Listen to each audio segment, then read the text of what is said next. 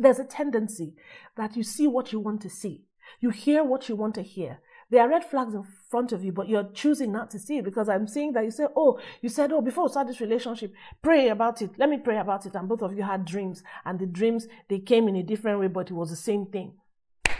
Darling, I've had experiences with dreams and with visions that I I I choose how I want to interpret it to suit what I want to give me the answers that I want. It's happened to me. I thought this person was my soulmate. Child. I thought this person was the same. He does the same things that I do. We're, we're both intelligent. We both love people's minds. We're both this. We're both that. We're, bo- oh, everything is falling into place. We're so similar. We have the same kind of visions. We, we talk the same. We do the same. We understand the same.